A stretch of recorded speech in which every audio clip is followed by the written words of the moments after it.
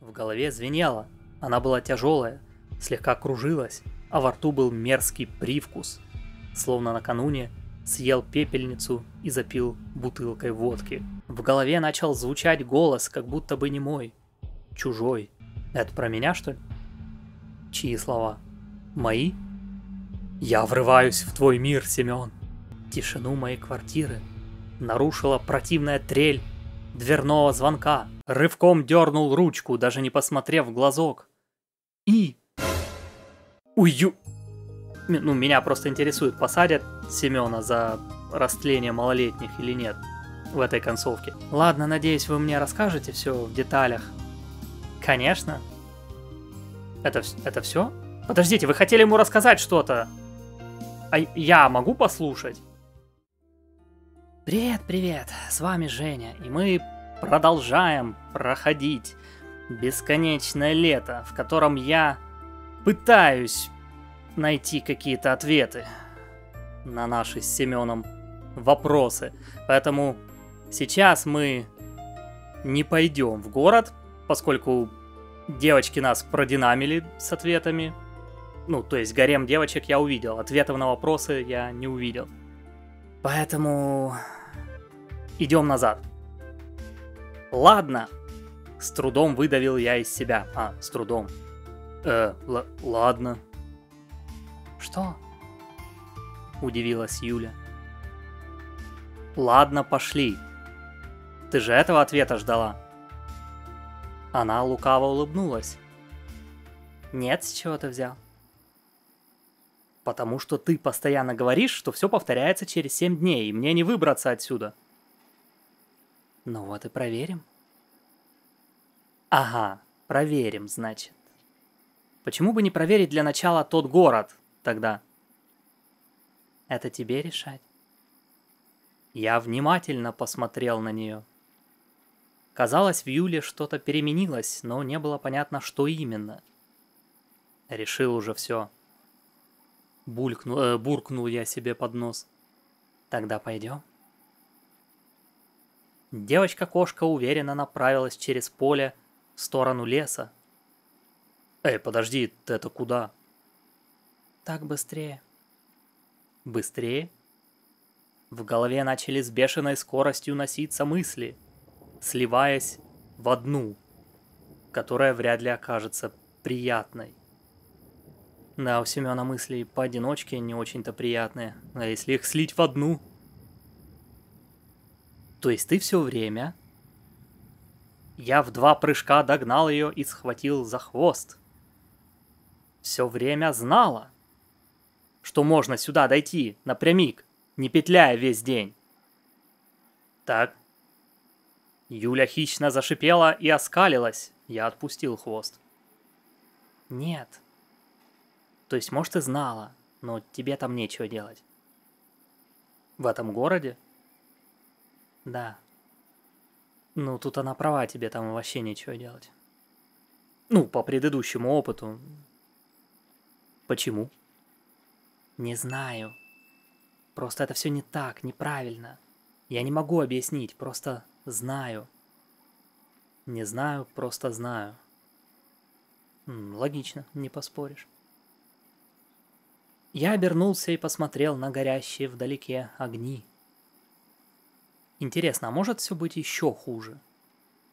Не то чтобы сейчас все катастрофически плохо, но вдруг этот город никуда не денется. А что там в лагере? Что означают слова Ольги Дмитриевны по рации? И если я уже решил, то стоит ли сейчас колебаться? Семен, не колебайся. То есть не, не колеб... Не колеблись. Да? Как, как правильно? Ладно, пошли. Мы шли по лесу почти всю дорогу, лишь изредка выходя на опушки и в поле. Юля казалась чем-то необычайно довольной. Может, наконец объяснишь, что с тобой происходит? Просто это все так необычно. Потому что раньше все было не так. Семь дней, потом все заново. Ага, я уже слышал. Она лишь улыбнулась в ответ. Не что там случилось у них. Смотри. Вдалеке за деревьями показались ворота лагеря. Мы ускорили шаг. Я сразу понял, что-то не так. Совенок выглядел покинутым. Можно было предположить, что пионеры легли спать, но кроме фонарей свет нигде не горел. Да и почему на площади нас не встречала вожатая с отрядом химзащиты? Ведь по рации она говорила, что что-то случилось. Меня тут же охватило необъяснимое волнение. Я посмотрел в сторону Генды, а там... Генда. Город! Города нет. Юля тоже выглядела удивленной, по-настоящему удивленной, так что я не стал набрасываться на нее с расспросами. Все, Семен отрезал себе все пути отступления. Я говорил, ничего у них не случилось, это западня. Тебя Ольга Дмитриевна развела просто, чтобы ты вернулся. И уже... и уже не вернулся. Ну, то есть вернулся и уже не выбрался. Подбежав к домику вожатой, я на секунду остановился в нерешительности. Перед глазами проплыли страшные картины того, что там могло произойти. Однако я тут же взял себя в руки. Руки оказались грязными, но Семен игнорировал мелочи.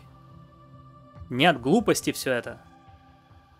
В конце концов, пока что ничего не предвещало того, что этот фантастический роман превратится в кровавый триллер — Хм. Нам на что-то намекают? Что такие превратиться? Не, ну это глупость, два раза повторять одно и то же, это как-то... Я решительно дернул ручку и вошел. Внутри никого не было. Ладно, не стоит здесь задерживаться. Я бросился в сторону домика Ульяны и Алисы без лишних раздумий несколько раз громко постучал в дверь. Однако ответом мне стала тишина. Я обошел домик и заглянул в окно. Внутри было пусто. Ладно, это еще ничего не значит. Может, они куда-то ушли? В конце концов. Ну, логично. Не поспоришь. Я побежал к столовой. Вдруг они все решили устроить поздний ужин. Однако дверь была заперта. Я вернулся на площадь и обессиленно опустился на лавочку. Набегался. Без интереса спросила Юля, все это время молча сопровождавшая меня. Неправда, почему я так запаниковал? Хотя если что-то действительно случилось, то... Ладно, я есть хочу. Пойду что-нибудь поищу. Я не стал возражать и через пару секунд Юля бесшумно скрылась в ночи. Либо это какой-то дурацкий розыгрыш, во что верилось с трудом, либо все действительно куда-то исчезли. Само по себе это событие не более странное, чем мое попадание сюда, чем таинственный город, то появляющийся, то исчезающий. Но я уже привык к этому лагерю, к его обитателям. А теперь такое – только более-менее освоился в новых обстоятельствах. А тут опять... Я выругался и закрыл лицо руками. Да, когда здесь были люди, они Семена раздражали. Теперь нет людей, опять не так. Тебе не угодишь. Возможно, если бы я просидел так еще несколько минут, из глаз потекли бы слезы. Но... Ой, Барабанные перепонки чуть не взорвались от дикого шума. Похоже было на раскат грома. Но откуда? На небе же не облачко. Опа! Знакомые лица. Точнее, знакомые э, безликие. Я открыл глаза и увидел перед собой кого-то. «Ты! Ты!» Заикаясь, выдавил я. На совершенно чистом небе Гремела гроза. Из-за вспышек молний я не мог разглядеть лица человека, который стоял передо мной. «Что, Семен, сидишь, пригорюнившись?» «Ты кто такой?» Закричал я. «Спокойно. Зачем так волноваться? Нервные клетки не восстанавливаются, знаешь ли». Первой моей мыслью было убежать, но тело не слушалось. Молнии все так же ярко сверкали, и не было никакой возможности разглядеть лица пионера. Однако я был точно уверен, что где-то уже слышал этот голос. «Кто ты?» — уже тише спросил я.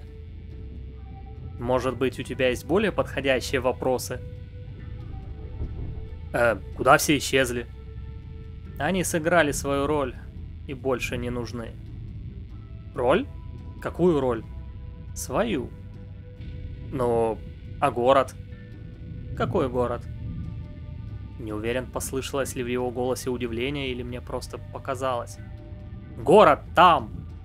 Я махнул рукой в сторону Генды. «А, ты про это?» Он замолчал на секунду. «Это ты виноват!» «Я не понимаю». «Потому что не стараешься!» Пионер повысил голос. «Я... я... Тебе же ведь просто надо подумать! Просто подумать! Ты сколько уже здесь? Пять дней? Шесть дней? Или двадцать шесть? Шесть, наверное. Шесть. А почему шесть? Ты уверен, что шесть? А почему? Потому что посчитал количество закатов и восходов или посмотрел дату на мобильнике? Не знаю. Пионер передо мной явно вышел из себя. Я совершенно не понимал, о чем он говорит. Мне, мне тоже трудно понимать, о чем он говорит, когда на фоне постоянно вот это мелькает. «Шесть. Ну ладно, пусть будет шесть», — сказал он спокойно. «И раньше ты здесь никогда не был?» «Нет». «И в этом ты тоже уверен?» «Не знаю». Так, Семен заразился от Юли. «А если я тебе скажу, что был?» Я совершенно не представлял, как реагировать на его слова. Сейчас со мной происходит примерно то же, что в первый день. Что-то необъяснимое, пугающее, возможно, опасное. Ну, Семен, чего его бояться, это ж не девочка. Ты у нас только девочек боишься. Но я ведь не помню. А с чего бы ты должен помнить? Он замолчал и, кажется, задумался. Впрочем, да, не помнишь. Ну ладно, тогда я тебе расскажу. Я с трудом разбирал его слова сквозь раскаты грома. Глаза уже слезились от ярких вспышек, но я боялся даже моргать, чтобы этот пионер не исчез. Возможно, он действительно расскажет, как я здесь оказался. Ты здесь уже не первый раз. Сколько точно витков у тебя было, я не знаю, но не суть. Кажется, я знаю. Так, Славя хорошая, Славя плохая, Лена хорошая, Лена плохая, Алиса хорошая, плохая, Ульяна хорошая, плохая. Короче, 12-13, да? Но почему? Я же не помню всего этого. Да и не должен! Не должен! Заорал он. Извини. Я решил больше не перебивать ее. Не первый раз, да. Продолжил он спокойнее. Но этот раз особенный. Он для тебя станет последним. Э, я не мог понять, что в его понимании значит «последний». Спроси, ты мне угрожаешь? Я выберусь отсюда и вернусь в привычную реальность? Или последний в смысле, что здесь я и умру? Ну, это я так думаю, по крайней мере. Пионер надолго замолчал. Наконец я решился задать вопрос. Откуда ты все это знаешь? Откуда? Можно сказать, что я твой коллега по несчастью. И... Ай. Да перестаньте уже. Вдруг где-то рядом послышался взрыв. Похоже, молния попала в дерево буквально в нескольких десятках метров от меня. Я инстинктивно закрыл голову руками и упал под лавку. Не знаю, сколько я так пролежал, но когда немного отошел от неожиданности, раскаты грома прекратились. Ой. Я открыл глаза. На месте пионера стояла Юля. Вот ты и познакомился с коллегой. Она улыбнулась и протянула мне руку. От шока я не знал, что делать, и остался лежать. Долго планируешь там сидеть? Я кое-как поднялся. Кто это был? Если из двух зол выбирать меньше, то я был готов больше доверять Юле, чем этому таинственному пионеру. Семен, не называй кошка девочек злом. Я... я возмущен. Ну, как бы тебе сказать? Она задумалась. Понимаешь, ты тут не один такой. Точнее, тут один, но есть еще точно такие же лагеря, много. И там есть такие же, как ты, тоже много. Я совершенно ничего не понял. И некоторые могут появляться в других местах. Вот, например, как этот. То есть ты все время знала, но не говорила. Вообще-то она говорила кое-что, что есть другие. Я помню. Ты не спрашивал? Она пожала плечами. Мне стоит его бояться? Я думаю, что нет. Хотя... Так стоит или нет? Мое волнение все нарастало. Я сомневаюсь, что он может принимать физическую форму. Но все равно с ним лучше поаккуратнее. Буквально за минуту на меня хлынул такой поток информации, для осмысления которой не хватило бы и недели. Так у Семена переполнение.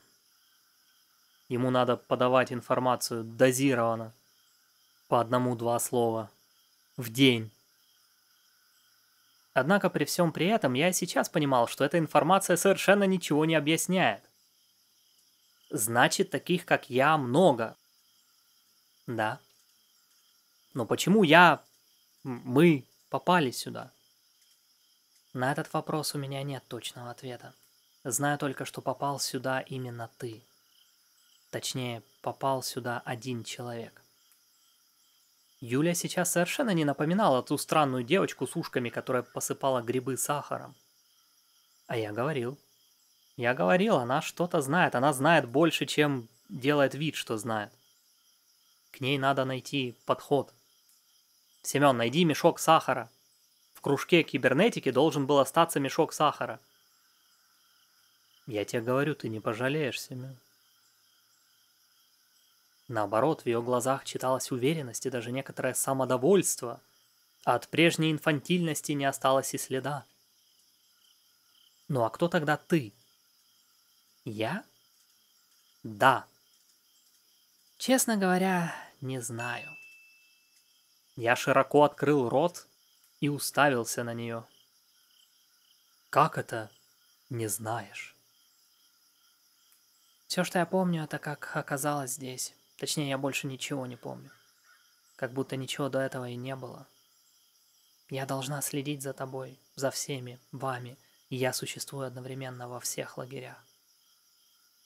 Когда шок немного прошел, я продолжил. И при этом ты не знаешь, кто ты. Совершенно верно. Она рассмеялась. Так, она надзирает за Семенами. Ну, надо сказать, я припоминаю следы ее присутствия в отдельных местах. Да, яблоко, наверное, она Семену подложила. Еще там были моменты. Но чтобы она реально во что-то вмешивалась, если что-то пойдет не так, я не видел. Ну, разве что... Был один момент, когда Семен хотел открыть шкатулочку Ольги Дмитриевны, и она помешала ему это сделать. Чтобы она во что-то еще вмешивалась, я не помню. Когда тут творилась всякая дичь, ей было совершенно пофиг. Поэтому в чем ее роль? Э, ладно, продолжим. Но такого же просто не может быть. Ладно, я могу понять амнезия, но ведь у всемогущих существ ее не бывает. А кто тебе сказал, что я всемогущая? А разве нет? На самом деле я ничего не могу. Не могу вмешиваться в естественный ход событий. Но ты же знаешь. Видела. Что-то знаю, что-то видела. И что будет? Ну, ты поняла. Я не знал, как сформулировать вопрос. Ничего. Обычно проходит 7 дней, и один из вас уезжает из лагеря. Даже исчезает, я бы сказала. Потом появляется новый. И так по кругу. Количество лагерей при этом остается неизменным. Подождите. Один исчезает, появляется новый. Количество лагерей остается неизменным. Если количество лагерей остается неизменным, а попал сюда при этом только один человек, один Семен, то как он попал сюда во множественном числе? Ну прямо мистика какая-то. Как из одного получилось много? Как, как Семен размножается? Размножение Семена в лагере совенок. Эх. Это мы уже проходили. Исчезает куда? Я не знаю. Ну не может же быть такого. Ты столько всего рассказала и... Думаешь, я от тебя что-то скрываю? Нет. Обессиленно сказал я. Наверное, сейчас сомневаться в ее словах не стоило. По крайней мере, пока. Может быть, они не исчезают, а идут на второй круг? Этого варианта тоже исключать нельзя, но все же я думаю, что нет. А что тогда сейчас со мной происходит? И тут я не могу тебе ничего объяснить. Но я точно знаю, что это должно было случиться. И это что-то необычное. События развиваются не так, как всегда. Я, я буду долго смеяться, если сейчас объяснят, что на этот раз э, Семен попал в компьютерную игру. Это было бы прикольное объяснение. Про это говорил пионер. Может быть, он знает больше, чем я. Но как все это понять вообще? Я глубоко вздохнул и закрыл голову руками. Я думаю, что мы вскоре узнаем. Ладно. Но все-таки, кто ты такая? Семен, ты заколебал. Юля недовольно надула губки. Я же тебе уже сказала. То есть у тебя потеря памяти. Нет. Она задумалась. Скорее нет у меня этой самой памяти. До этого лагеря меня не было. Не существовало. Но я не закончил фразу. Так, Семен уже несколько раз начинает и не может кончить. Э, то есть начинает фразы и не может их закончить. Перестань так делать. Как говорится, не можешь сказать, не мучай рот. Учитывая все происходящее здесь, степень допущения была огромна. А значит, не стоит удивляться этой девочке с ушами. Ты как наблюдатель здесь? Наверное. Думаю, это слово лучше всего подходит. А что насчет того, что все обитатели исчезли, сыграв свою роль? Это ты о чем? Так сказал пионер. Роль? Она забавно пошевелила ушками, отчего я невольно улыбнулся. Да, что-то в этом есть. Ведь настоящие здесь только вы. Я имею в виду тебя, того пионера и всех остальных. Так, в прошлый раз э, в гаремной концовке эти девочки рассказывали, что они тоже настоящие. Здесь это по боку или как? Как это? Не знаю, говорю же. Считай, что я появилась здесь некоторым багажом знаний, но не более. Есть вещи, в которых я уверена, а есть о которых я знаю не больше тебя. Ладно. С одной стороны, ее слова казались логичными. Если в подобной ситуации о логике вообще может идти речь. И что ты предполагаешь делать дальше? Ждать, смотреть, что из всего этого выйдет? Да, ты же не можешь никак повлиять ни на что. Пробурчал я себе под нос. В любом случае, время ужина. Она весело улыбнулась и помахала хвостом. Так ты же ходила что-то искать. Но ничего не нашла. Точнее, не успела. Я увидела вспышки молнии и сразу бросилась назад. Пойдем. Она направилась в сторону столовой. Лучше бы сидела со мной. Может, и не было вообще никакого пионера. А если бы его видел не только я, то осталось бы меньше поводов сомневаться в своем и так изрядно пошатнувшемся психическом здоровье. Юля села за стол и посмотрела на меня. «Ну? Что? Ужин?» «Да, ужин. Зевнул я. Время было уже далеко за полночь. Кстати, как ты столовую открыла? Уметь надо. Уточнять я не стал. Может, спать пойдем? Готовь.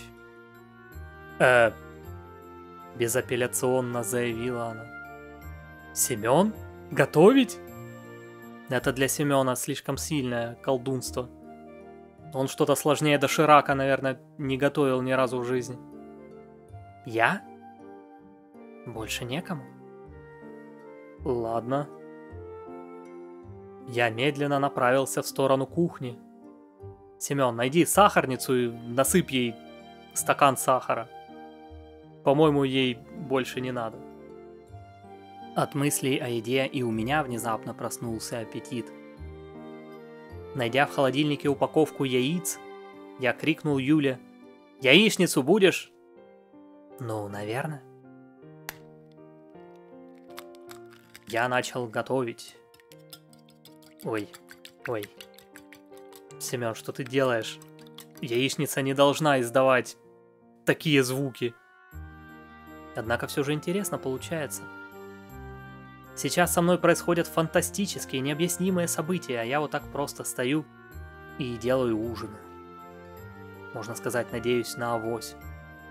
Типично русская черта, да.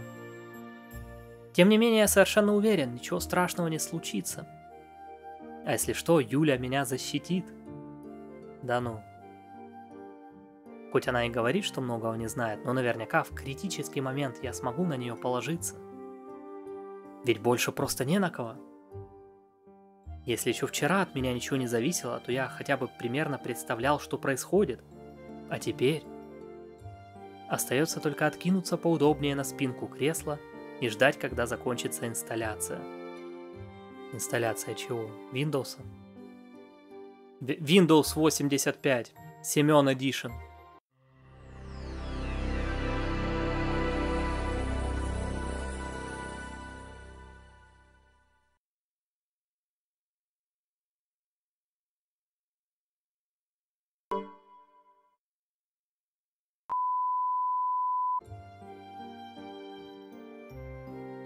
Я натер сыр, добавил майонез, посолил, поперчил и вылил хорошо размешанную массу на сковородку. Яичница с майонезом? Пф. Семен, ну ты извращенец, конечно. В холодильнике еще нашлась колбаса, а на полке рядом батон хлеба. Вскоре мы уже сидели и молча уплетали горячую яичницу – вкусно. Не верю. Вот, вот майонез там точно был лишний. Ничего особенного. Обломовский такой ужин. Никогда такого не ела. Наверное, лучше грибов и орехов. Сойдет, недовольно ответила Юля. Когда с едой было покончено, я сказал, расскажи что-нибудь про себя, что ли. Хотя Тебе, наверное, нечего. Наверное. Ну, сколько времени ты уже здесь? Не знаю. Давно. Но ты вообще человек? Ну, наверное. А как же тогда ты можешь одновременно в разных местах? Это сложно объяснить, я сама толком не понимаю. Давай считать, что здесь и сейчас перед тобой я единственная. Такое допущение я мог принять. Конце концов, многоликость Юлии хоть и была одной из многочисленных загадок всего происходящего, но далеко не главной. Так, по крайней мере, я думал. Хорошо, предположим. А что ты вообще знаешь о мире? Писать и читать я умею, если ты об этом. Она рассмеялась. Не совсем об этом. Ты знаешь, где находится этот лагерь? Нет. Тогда, может быть, знаешь, что я не отсюда? Не из этого времени, не из этой реальности. Ну, знаю, но без подробностей. Если я спрошу, какой сейчас год, я не отвечу. Я глубоко вздохнул и уставился в окно. В общем, можешь считать, что в чем-то я разбираюсь лучше тебя, а в чем-то хуже. И что же нам делать? Запасы на зиму. Семен. Что еще остается делать? Ждать, я уже говорила. Ждать. И чем займемся? А что ты предлагаешь? Эм... Эм... Гусары молчать? Не знаю. Но по деревьям лазать как-то не хочется, ты уж прости.